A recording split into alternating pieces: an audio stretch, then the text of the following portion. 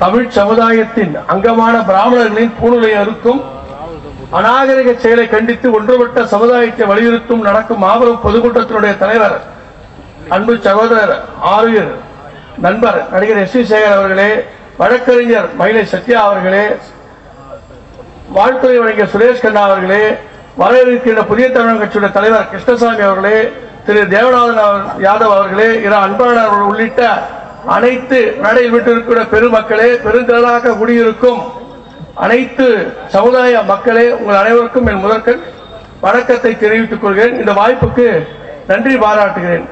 இப்ப தமிழ் சமுதாயம் பிராமணர்களை கூடுதல் நடத்துறதுக்கு நீங்களாம் ஏன் சார் வரீங்கன்னு நினைக்கலாம். இன்னைக்கு நம்ம தமிழ் சமுதாயம் ஒன்றுபட்ட சமுதாயம். இந்த சமுதாயத்துல நமக்கு நடக்கிறது எதையுமே சுயநலமா நமக்கு என்ன பிராமணருக்கு தானே நடக்குது நமக்கு என்ன தேவருக்கு தான் நடக்குதுன்னு இருந்துட்டா இந்த சமுதாயத்துக்கு பாதுகாப்பே இல்ல. தடியெடுத்தவன்லாம் தலைவர் ஆயிடுவான் நமக்கு எந்த விதமான பாதுகாப்பும் இருக்காது. அதனால இந்த மாதிரி செய்யறவங்களை கடுமையான நடவடிக்கை எடுக்கணும். எல்லாரும் பூணலை பத்தி சொன்னாங்க. எப்படி ஒரு தாய்க்கும் சேனுக்குமான உறவாக தொப்புள் கொடி இருக்கிறதோ அதை போன்று நமது இந்து சமுதாயத்தின் உறவு கொடிதான் பூணூல். ஏன்னா எல்லா சமுதாயத்திலையும் சார் நான் நாயுடு வகுப்பை சேர்ந்தவன் நான் ஜாதி பேசத்துக்காக வரல. ஆனா நாங்களும் திருமணத்திற்கும் பதினாறாம் நாள் காரியத்துக்கும் பூணூல் போடுவோம். அது மட்டும் இல்ல ஒரு ஒரு வருஷம் திடிக்கும் பூணூல் போடுவோம்.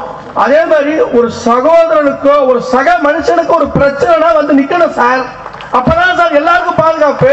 நாளைக்கு அவர் அடி நாளைக்கு எனக்கு ஒரு பிரச்சனை அப்புறம் யாராவது வருவாங்களா? அதனால இந்த சமுதாயம் பாதுகாப்பான பண்பட்ட நாகரிகமான சமுதாயம்.